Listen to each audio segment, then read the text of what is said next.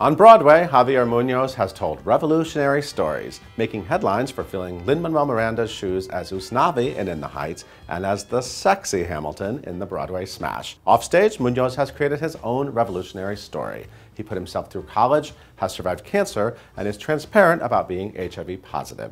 Here, Muñoz discuss his latest role in The New Englanders off Broadway, why he's not afraid to get scrappy on Twitter, and more on this week's Show People.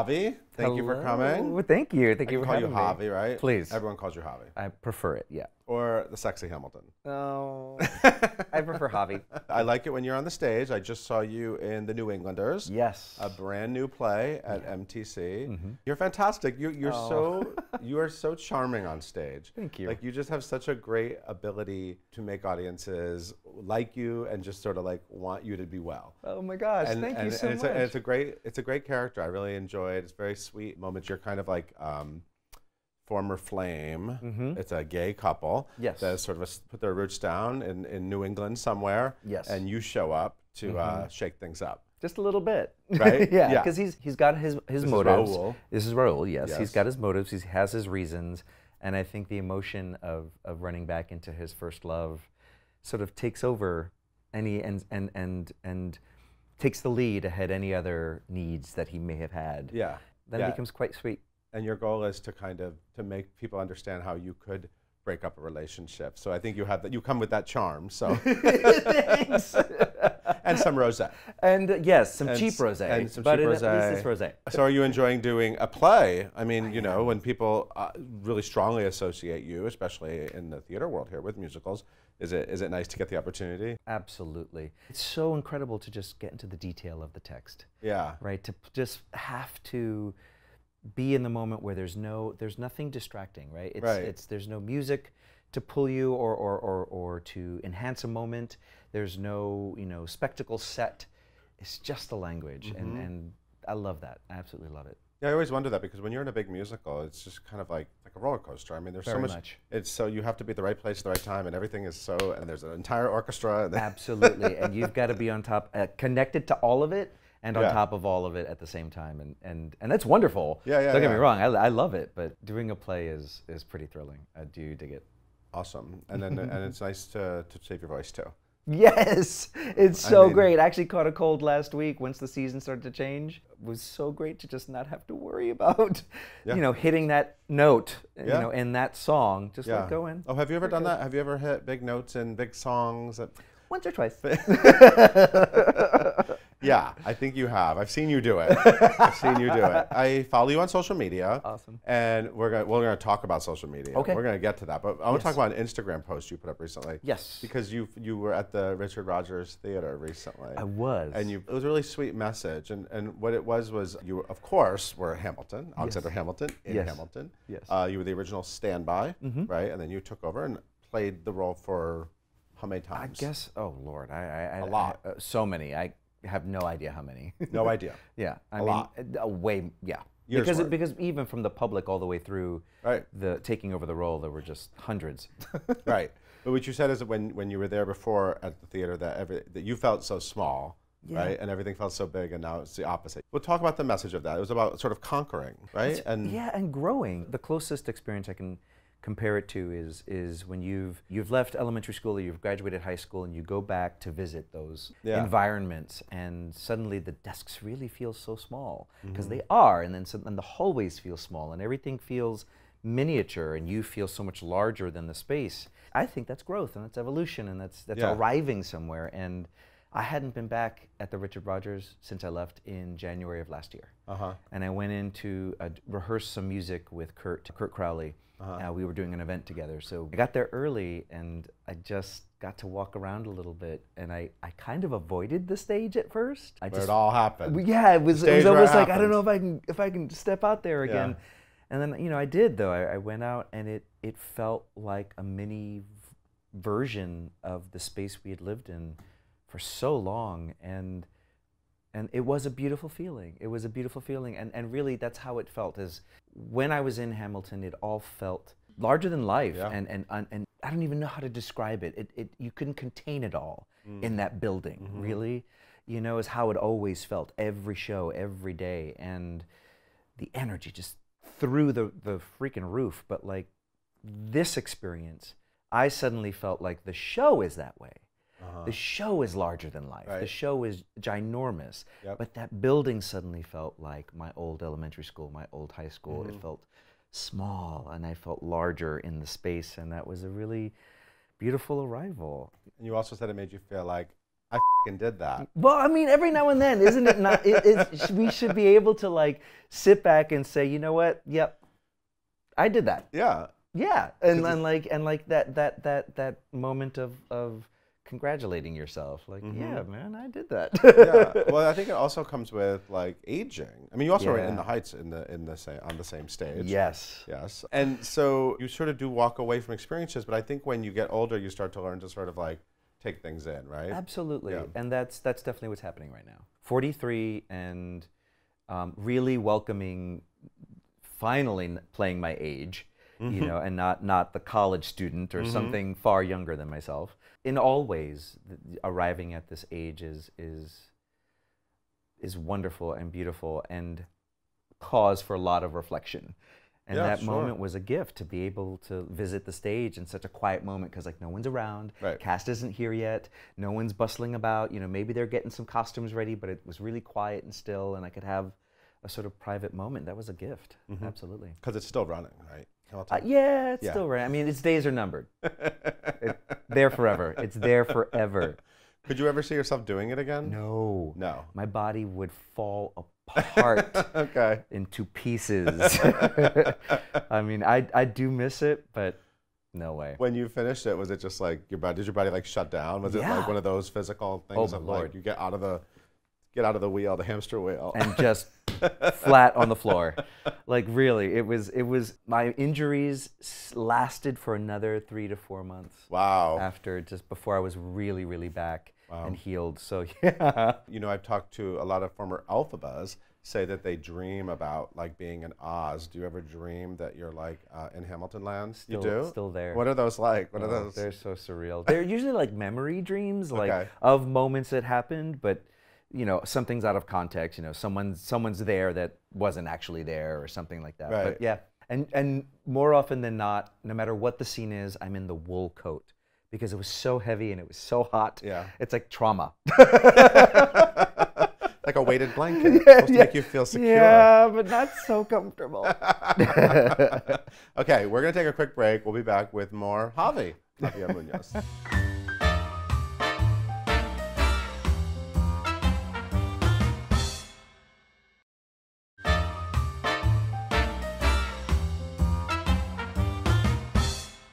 Back with Javier Muñoz, off Broadway in the New Englanders. You are not a New Englander yourself. no, Brooklyn born and raised.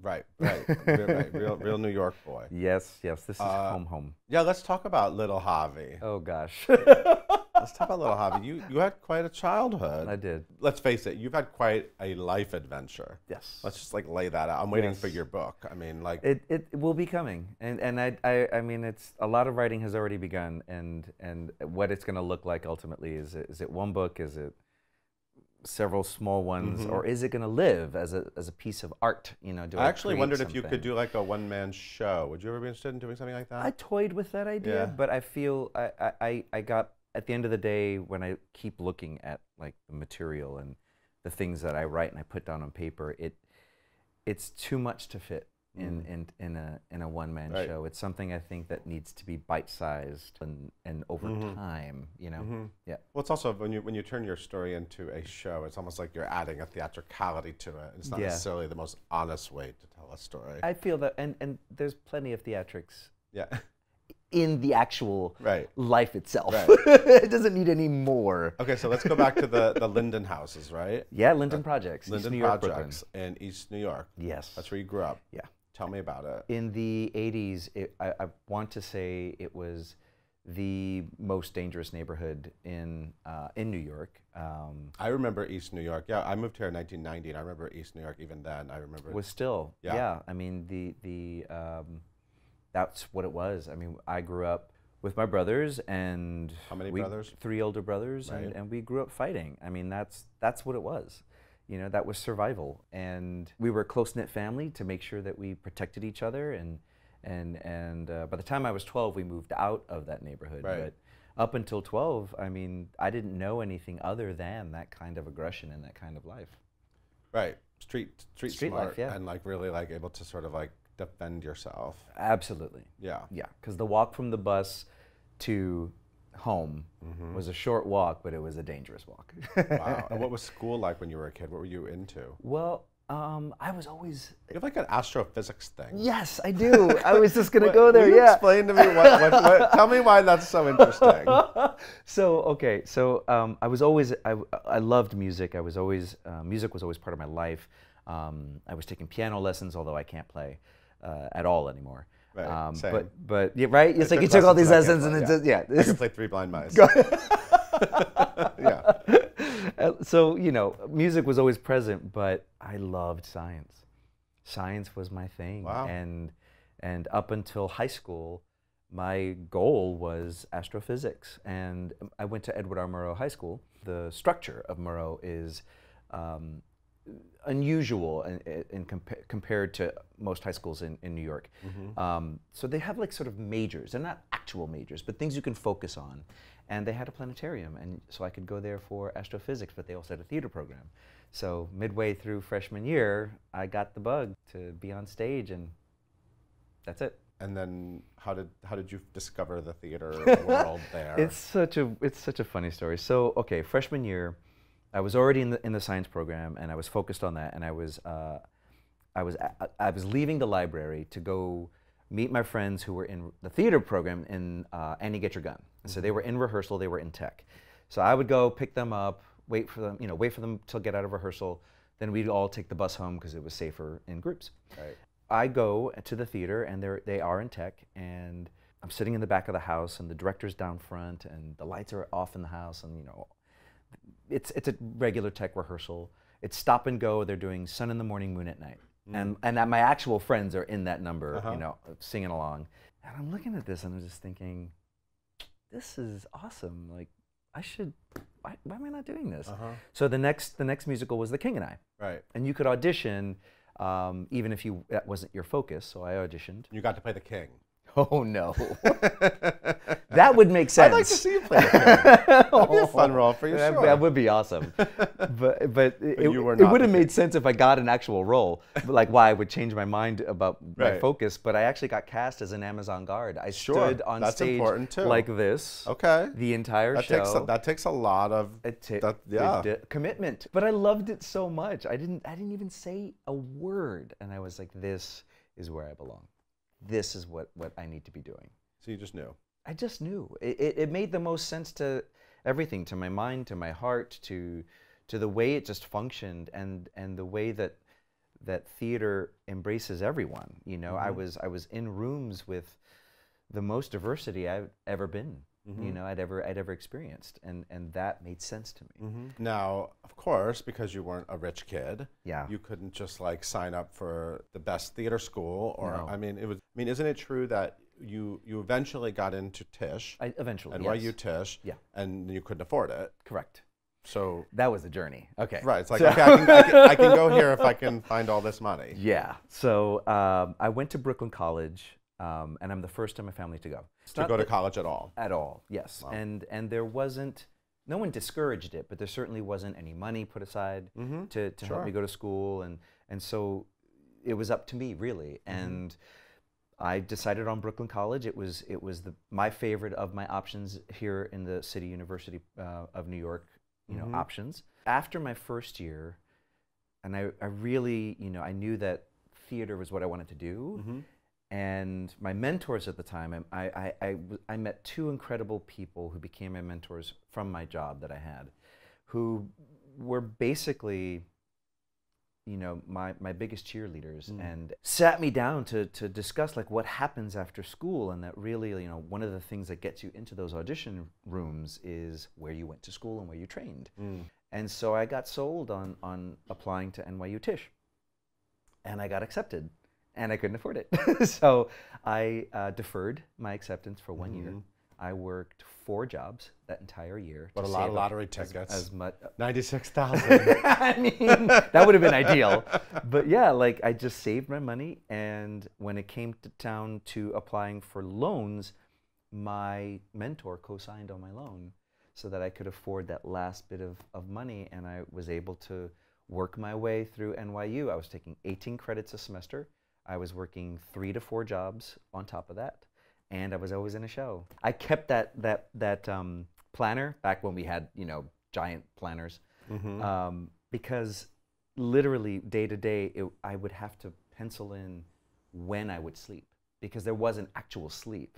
It was just like I could sleep an hour here. I got three hours here at home. Then I got to go, and then I, I like figured out places in the Tisch building where I could like hide and like doze off for a little Really? bit, and then get up and go to that next, you know, because that, that was it. I was I I was had to work life. my way through. Yeah, Right. and I did Makes you appreciate so much. the later moments. Absolutely. I mean, the struggle. Absolutely. Yeah. Yeah. And it, and it's it's so earned. And and then when things get a little easier, it's like this is nice. Yeah, sure. Okay, we're going to talk about when it got a little easier Okay. and more when we come back.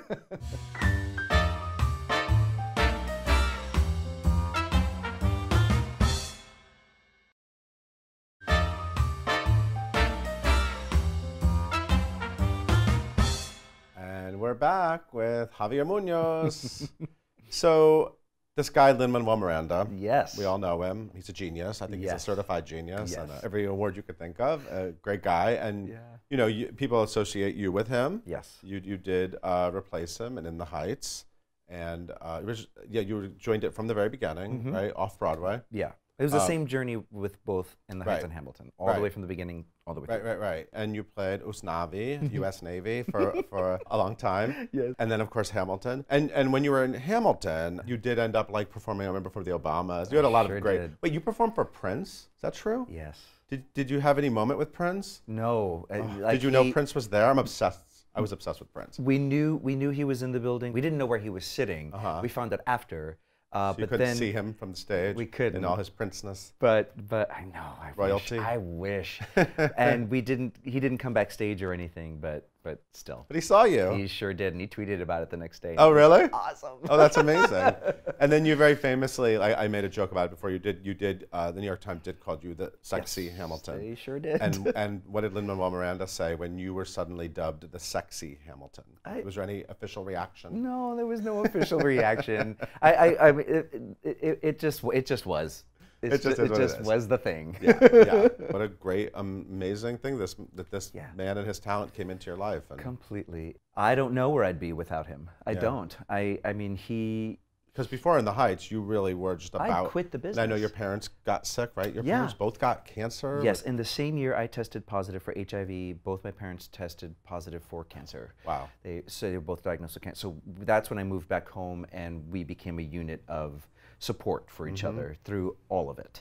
And uh, and and I quit the business because I wasn't working enough to help financially support them. Right. And and that's when I you know became a GM at a restaurant in Hell's Kitchen. Yep. And, and then one thing led to another. Got you know there I am in the room auditioning for In the Heights for the role of Lincoln that would be cut Right. and, uh, and that's when I met Lin. And it, it's it's it's I don't know how to describe it. Like we we both grew up in New York City. We we have similar tastes in music, in in pop culture, in mm-hmm. grew up with so many of the same things that it was like a kindred spirit.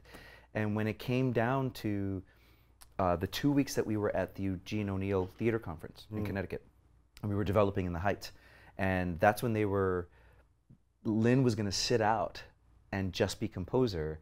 And mm. for the first time, they were going to have someone play Usnavi that wasn't Lin. And it was Quiara's idea to, to have me come in for that. So I came Wow. in and I auditioned for it.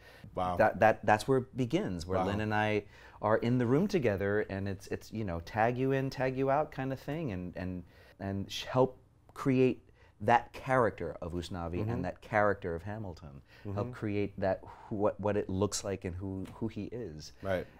Yeah, it's it's unlike anything I've I've ever experienced in my life, and absolutely, where would I be without his vision? You know, he's mm-hmm. opened doors, so many doors for us, Yeah. for, for for Latin artists, for for women, for for diversity. For I mm-hmm. mean, it's Very, very, very lucky thing that Yes. my path crossed Yes. with his. yeah, Yes. And might- I'm grateful for it all the You might be time. at that restaurant because it's Or right, who knows? I- I, live right near it, so I would see you all the time. But. Yeah. You have not only sort of introduce yourself to the world as a very fantastic talent, but you. are also an inspiring activist, survivor. Your health journey is incredible. You came out as gay, Yes. as HIV positive. Yes. You had cancer during the run of Hamilton. Yes. In fact, you said to, um, I believe it was to GQ magazine, I've died several times already. Yeah. And I think by that you meant, it's almost like the, the, the death of innocence. You're like a, a Broadway superhero. Oh, uh, that's. But you know, how does it you, how does it feel to sort of have shared all that and to now see how people react to all that with you? Uh, in 2002, when I tested positive, I, I I spent three years not knowing a damn thing, not knowing an answer, not knowing what direction to go in, Right. and the only thing I, I, I could focus on was my treatment and my conversations with my doctor and my and my wellness. In 2005, I just hit a place where I was like, you know what, I can't hide this. Like I can't on a daily basis have interactions and not have this be part of just this is who I am and Yep. this is this is what you get when I walk in a room. That's it. This is mm-hmm. me, and and it was terrifying, but it was also like the most liberating, freeing, empowering thing to just say this is me Yeah. and and and learn you know it's not something i was strong at at the beginning but l- learn how to be strong in that and how to stand in that and how to find the place inside that would be content and secure and and grounded no matter what energy was thrown at me whether it was it was acceptance or intolerance Mm. and through those years, I was blessed with really amazing people in my life. I was blessed with my family, and I was blessed with, you know, people like Lin and, and everybody involved with Heights and on that whole community, and and and this entire theater community rallies behind this cause. Yeah. Now I, I look at it and I think, what wasn't there when I was going through this? Mm. What what what did I need that wasn't there that I can now provide? Mm. and whether it's something that I simply post on social media, whether it's an interview, whether it's a Right. campaign, whether it's an organization I support, whether it's just a conversation, what can I keep putting out there Mm-hmm. that wasn't there for me that I needed? Yep.